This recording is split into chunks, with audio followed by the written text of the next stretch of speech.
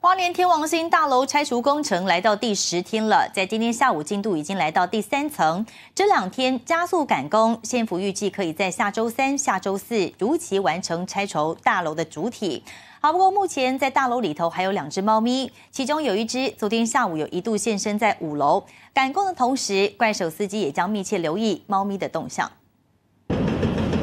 水泥、碎石、瓦砾从天王星大楼不断掉落。大楼开拆第十天傍晚，拆除进度已经来到第三层。预计六点多会开始陆续把这些剩余土石方清运出去。